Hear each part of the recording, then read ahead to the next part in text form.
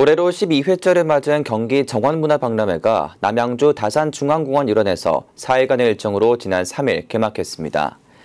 이번 박람회에서는 우수 정원 체험과 산업전 등 다양한 프로그램이 운영됐습니다. 특히 전문 정원과 생활 정원 부문에 출품된 작품들이 다산중앙공원과 선영공원에 전시돼 첫째 날에만 7만여 명의 관람객들이 찾았습니다.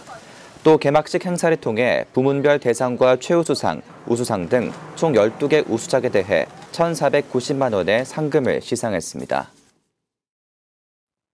도심지 중심에 있는 대형 녹지에서 조성된 정원 박람회이기 때문에 많은 시민들의 참여가 있었고요. 그리고 시민 정원이라든지 상가 정원 또는 아파트 정원 등이 주변에 같이 진행이 돼서 아파트 주민들과 여기 시민들이 함께 만드는 정원으로 기획하게 되었습니다.